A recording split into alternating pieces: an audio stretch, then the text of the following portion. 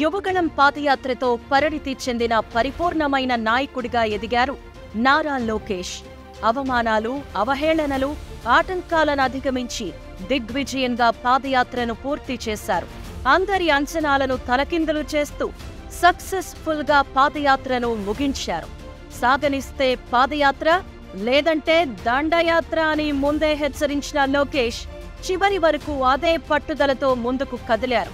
తండోపతండాలుగా జనాలు తరలివచ్చి లోకేష్కు నీరాజనాలు పలికారు. జన ప్రభంజనం మధ్య లోకేష్ ముందుకు కదిలారు. ప్రజల సమస్యలను వింటూ అధికారంలోకి రాగానే పరిష్కరిస్తామని భరోసా కల్పించారు.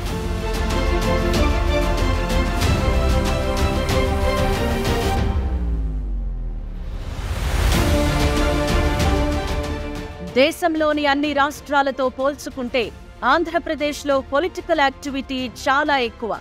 ఈ క్రమంలో రెండు వేల పద్నాలుగు ఏపీ అసెంబ్లీ ఎన్నికల్లో గెలుపొందిన తెలుగుదేశం పార్టీ రెండు వేల పంతొమ్మిది ఎన్నికల్లో మాత్రం పరాజయం పాలైంది. లోకేష్ ఎమ్మెల్యేగా కూడా గెలవలేకపోయారు. అంతకుముందు మంత్రిగా పనిచేసిన వ్యక్తి ఎమ్మెల్యేగా గెలవలేకపోయారనే విమర్శ లోకేష్ను కుంగదీసింది. అటు అవమానాలు అవహేళనలు కూడా ఎక్కువయ్యాయి. వీటన్నింటినీ అధిగమించుకుంటూ వచ్చేలోపే ఎన్నికల సమయమాసన్నమైంది దీంతో ప్రజలతో మమేకమవ్వాలని కంకణం కట్టుకున్నారు నారా లోకేష్.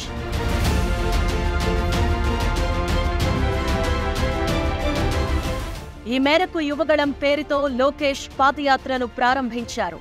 ఏడాది జనవరి ఇరవై ఏడున చిత్తూరు జిల్లా కుప్పంలో లోకేష్ పాదయాత్ర ప్రారంభమైంది. పదకొండు ఉమ్మడి జిల్లాలు తొంభై ఏడు నియోజకవర్గాలు రెండు వేల రెండు వందల ఎనిమిది గ్రామాల మీదుగా రెండు వందల ఇరవై ఆరు రోజుల పాటు లోకేష్ పాదయాత్రను కొనసాగించారు. మూడు వేల నూట ముప్పై రెండు కిలోమీటర్ల మేర పాదయాత్ర కొనసాగించి విశాఖ జిల్లా అగనంపూడి వద్ద దిగ్విజయంగా ముగించారు. గతంలో ఉమ్మడి ఆంధ్రప్రదేశ్లో చంద్రబాబు నాయుడు చేపట్టిన వస్తున్నా మీకోసం పాదయాత్ర కూడా అగనంపూడి వద్దే ముగిసింది. ఆ తర్వాత టీడీపీ అధికారంలోకి వచ్చింది. దీంతో లోకేష్ కూడా అదే సెంటిమెంట్తో యువగళం పాదయాత్రను అగనంపూడి వద్ద ముగించారు.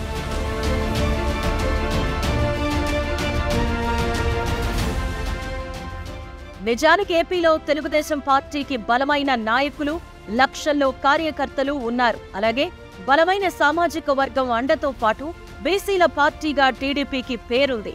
అయితే రెండు వేల పంతొమ్మిది అసెంబ్లీ ఎన్నికల్లో లెక్కలు తారుమారైపోయి టీడీపీ ఓడిపోవడంతో క్యాడర్ అయోమయంలో పడింది.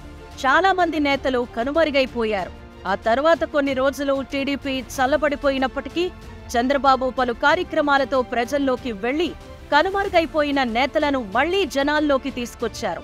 పార్టీ క్యాడర్లో కొత్త ఉత్సాహాన్ని తీసుకొచ్చారు.